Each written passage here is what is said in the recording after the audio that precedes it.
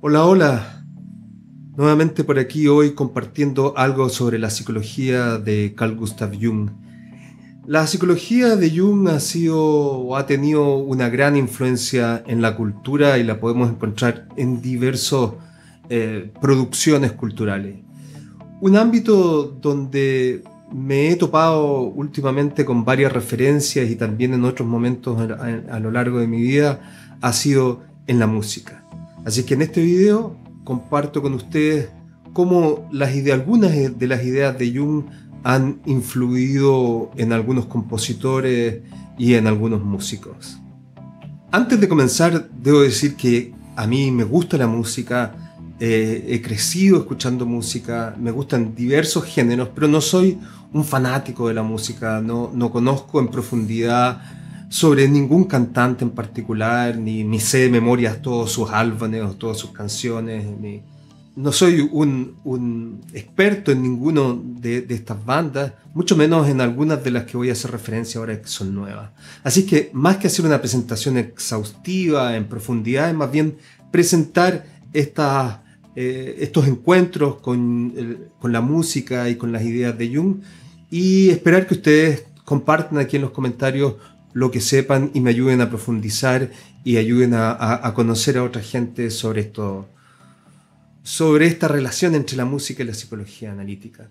Me empezó a llamar primero que nada esta, esta relación, la atención, porque algunos, empecé a recibir algunos comentarios en el canal respecto a una banda de música coreana, de pop coreana, que se llama BTS, es un grupo de siete integrantes, hombres jóvenes, que forman parte de este movimiento del K-Pop, ¿no es cierto? Que, que, es un gran movimiento que tiene mucha eh, popularidad a nivel mundial, más allá de Corea, ¿no? Y esta banda, BTS, parece ser que es una banda muy popular y, y mm, en las referencias al canal de YouTube me mencionaban que había, o estaba por salir el año pasado, eh, un, un álbum que se llamaba, eh, que se llamó finalmente Mapa del Alma, Persona. Mapa del Alma en realidad hace referencia a un libro de un analista junguiano norteamericano que se llama Murray Stein, que, que presenta la psicología de Jung en, en forma general y resumida. Es un libro muy bueno, introductorio a la psicología de Jung. Creo que, no estoy seguro si yo lo he recomendado en, en, el video que yo puse aquí de cómo comenzar a leer a Jung, pero es un libro eh, que es muy eh, bueno como una introducción a la psicología analítica. ¿no? no vamos a entrar aquí en detalle, pero Jung refiere a persona, eh, se refiere al, al, concepto de persona como la máscara que nos ponemos. Es un arquetipo, ¿no? es, es este, esta construcción eh, de nuestra apariencia eh, en lo social, de cómo nos presentamos en, en sociedad.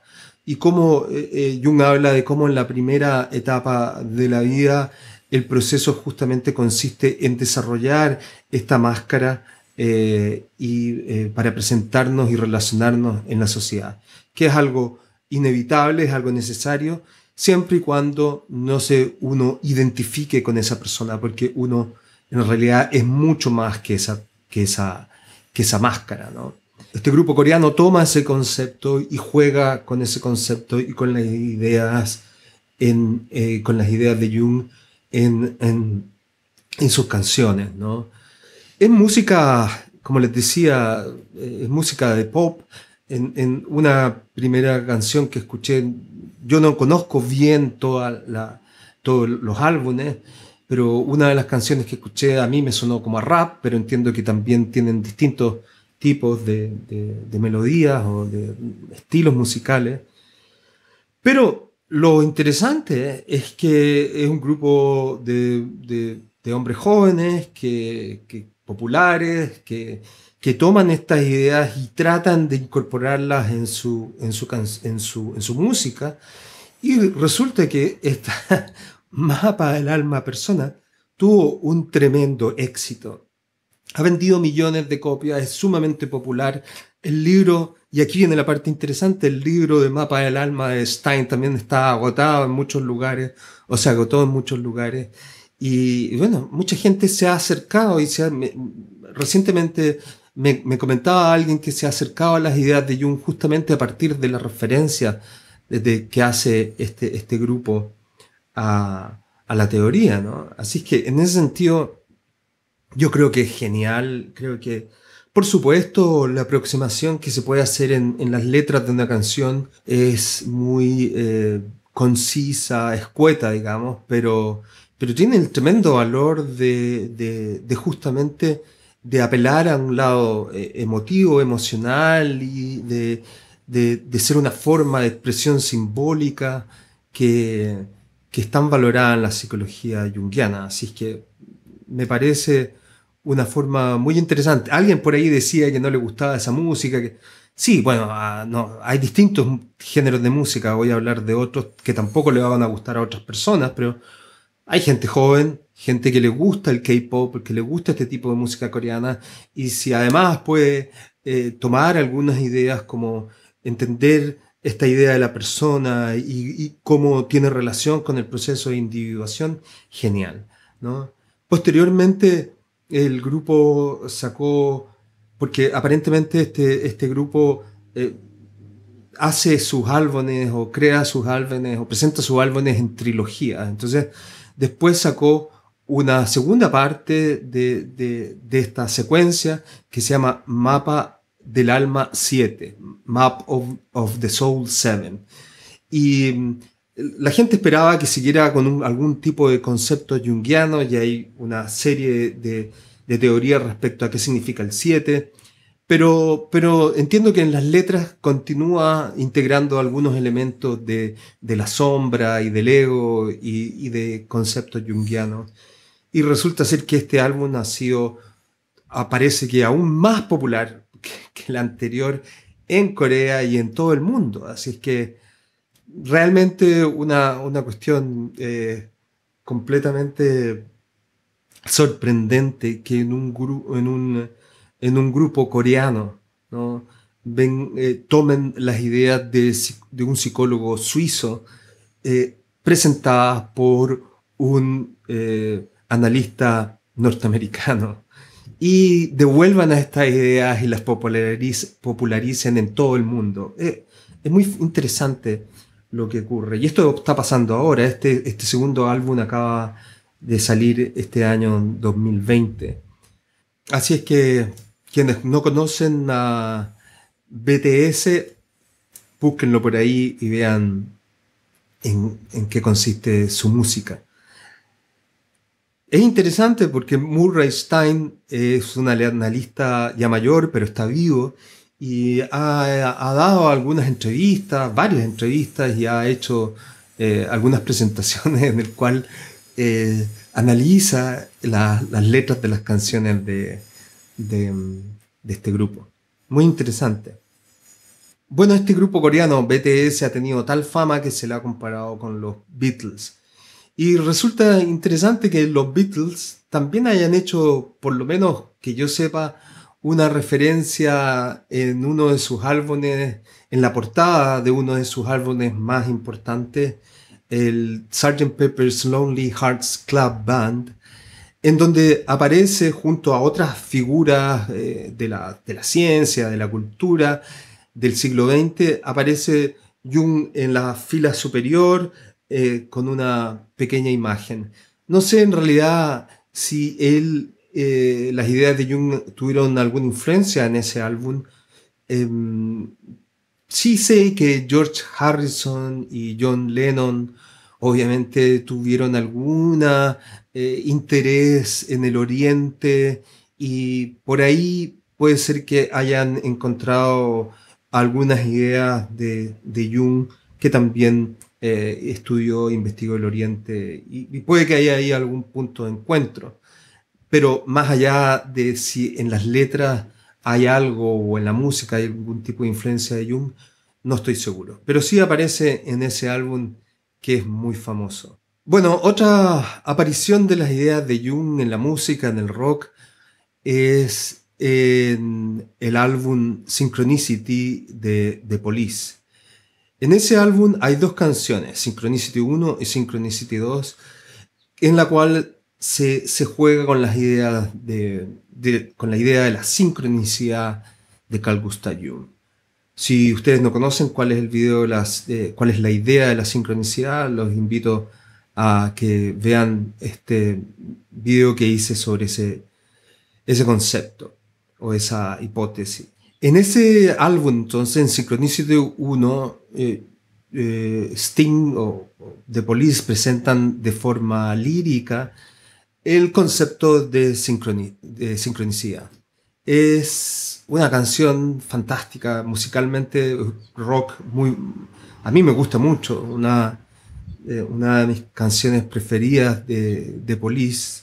También es famosa eh, la Sincronicidad 2, la canción Synchronicity 2, de, que está en el mismo álbum. Y en esa canción eh, se presenta una situación en la cual se da un fenómeno de sincronicidad. Se juega también con esa, con esa idea, pero no tanto como presentando el concepto, sino que como presentando una situación donde aparece el concepto. Les invito a, que investiguen la letra para, para ver cómo, cómo se presenta esa idea ahí. En el disco, en la portada del disco también aparece eh, Sting leyendo eh, el libro de sincronicidad de Jung. Resulta interesante que este álbum de, de The Police fue por primera vez eh, publicado en el año 1983 Encontré por ahí alguna referencia de, de Sting que refiere que durante esa época eh, ocurría, la, él estaba viendo lo que ocurría, eh, la tragedia que ocurría en, los mares del sur con la guerra de las Malvinas. Y en esa época entonces eh, Sting escribe esa canción eh, y, hacen esa canción. Y em, también por esa época, en el sur también, en, ese, en Argentina, eh, en el año 1980, Charlie García, el gran Charlie García, músico argentino, un rockero argentino de los más importantes, en, el rock en español, eh, escribió una canción que se llama El inconsciente colectivo. Aparentemente por primera vez la tocó en un concierto en 1980, pero fue, fue publicada o apareció en un álbum, en el álbum de Yendo de la cama living en 1982 o 1983. Charlie presenta no presenta la idea del inconsciente colectivo, sino que más bien habla sobre la libertad, ¿no? Y cómo, es, cómo la libertad es algo que, que aparece en el corazón de las personas en distintos momentos. Y por ahí probablemente haya alguna referencia a esta necesidad arquetípica que tenemos para de, libertad y de creatividad. Y ahí, por ahí puede haber alguna referencia al inconsciente colectivo. Creo que la hay, ¿no? creo que, sin duda creo que la hay. Solo que no es tan obvia, por ejemplo, como en la canción de Synchronicity 1. Siguiendo con los músicos argentinos, hay un álbum de un grupo de 1975 que se llama Invisible, que tenía como uno de sus integrantes al famoso Luis Alberto Spinetta, quien era un músico argentino que tuvo mucha influencia en el rock argentino. Eh, este grupo Invisible eh, eh, sacó un álbum que se llama Durazno Sangrando. Y este álbum está influenciado por las ideas de, del secreto de la flor de oro, que es la, una traducción de un libro de alquimia eh, china que hizo Richard Wilhelm y que introdujo, que hizo la introducción Carl Gustav Jung la escuché, es una canción melódicamente muy bonita y la letra también es muy simbólica y muy interesante. Se la recomiendo, Durazno Sangrando, del grupo Invisible, un grupo argentino cuyos integrantes, o el más famoso que yo conozco de los integrantes, era Luis Alberto Spinetta.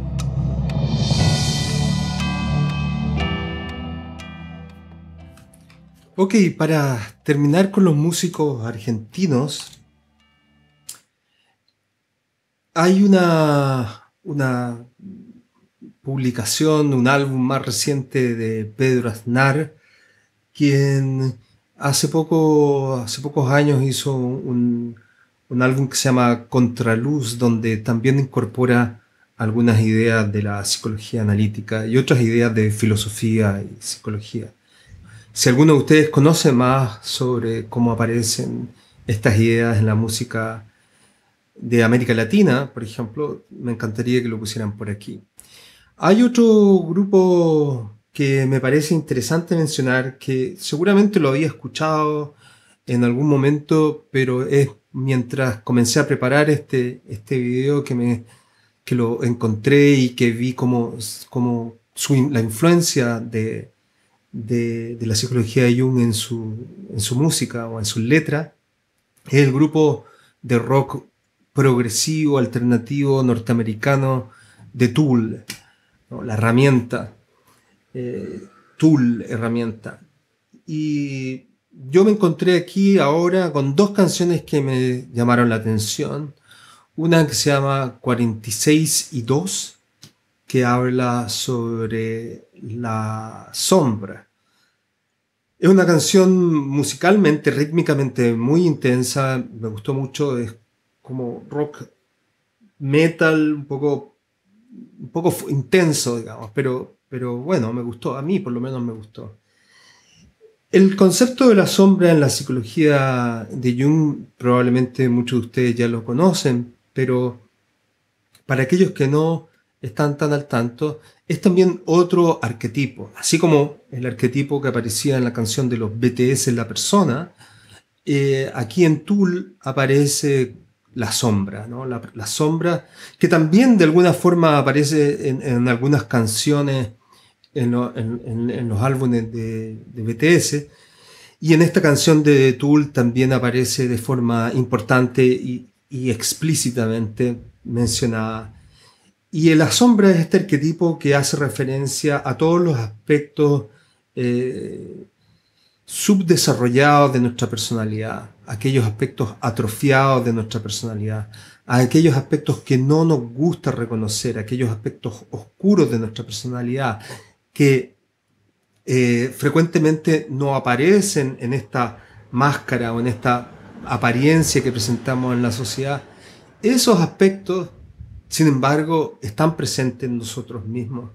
Y en la medida en que no reconozcamos que los tenemos, hay mayor probabilidad que en algunos momentos de nuestra vida estos aspectos sombríos se apoderen de nuestra personalidad y nos dominen. Es la psicología de Jung, Jung plantea que es en la medida que somos capaces de reconocer estos aspectos, de reconocer que no solo somos esta estos aspectos de la máscara, eh, es que somos capaces de poder controlarlos y dominarlos un poco mejor. Es un aspecto muy importante y difícil en el desarrollo de la, personalidad. Así que esa canción de, de Tool hace referencia a, a ese aspecto. Hay otra canción que se llama, déjenme ver cómo se llama, se llama Lateralus, si no me equivoco, Lateralus. Muy buena, me encantó esa canción, súper intensa, con muchos cambios de ritmo y, muy, muy potente, eh, que hace referencia a... En la, letra eh, comienza haciendo referencia inmediatamente a, la alquimia. Y la alquimia es como, como ustedes saben, o como yo ya he comentado aquí en el canal, y como seguramente voy a seguir conversando en otros momentos más en profundidad. La alquimia es una referencia al proceso de transformación psicológica a lo largo de la vida, el proceso de individuación. Y entonces la canción esta eh, hace referencia al proceso de individuación. Como les decía, hay muchas seguramente otras influencias que desconozco. Les invito a que las compartan aquí en este canal, en la parte de, las, de, los comentarios, que me cuenten, que me informen, que me corrijan, que agreguen otras cosas, que me pregunten algunas cosas o sugieran algunas cosas que les puedan interesar. De hecho, este video surge a partir de esa, de la inquietud que, que, se generó a partir del comentario que relacionaba la banda coreana BTS con las ideas de Jung. Así que que sea un primer elemento para, para conocer un poco más de, de, la influencia de Jung en la música. Este, este mm, video originalmente yo lo tenía pensado en hacer una, un, video sobre la idea, de, la influencia de Jung en la cultura. Sin embargo, rápidamente me di cuenta que al empezar por la música ya era un proyecto incluso demasiado ambicioso para poder hacerlo de forma rápida y que requiere mucho más eh, investigación para poder profundizar en ello. Tal vez más adelante haga, profundice en algún aspecto en particular, en alguna banda, en alguna canción, interpretar alguna canción, pero por ahora eso es todo. Más adelante también puede ser que haga algo sobre la cultura o otros aspectos de la, de la vida cultural. Si les interesa este, este, les interesó este video, que va justamente en la línea de, lo mismo que de alguna forma eh, se logra con esta con incorporar las ideas en la música, es decir, de acercar las ideas de Jung a la comunidad, a la gente que no conoce o que no ha estudiado las ideas de Jung. Eh, si les gusta ese proyecto, les invito a que se suscriban a este canal, que justamente va en, esa línea de traer las ideas de Jung a este formato de YouTube y hacerlas accesibles a un mayor número de personas. Les invito a que se suscriban al canal, que le den un like a este, a este video y que lo compartan y que apoyen lo que hago aquí de la manera en que ustedes puedan. Por ahora, eso es todo y nos vemos.